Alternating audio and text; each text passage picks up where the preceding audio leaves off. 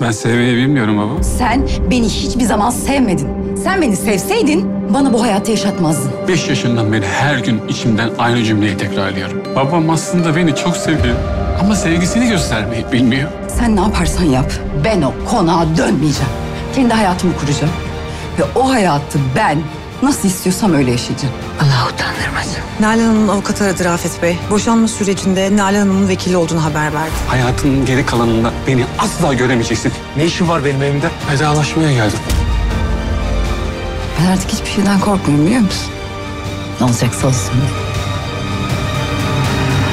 Nalan nerede? Allah sen en korktuğum şeyi yaşatma bana.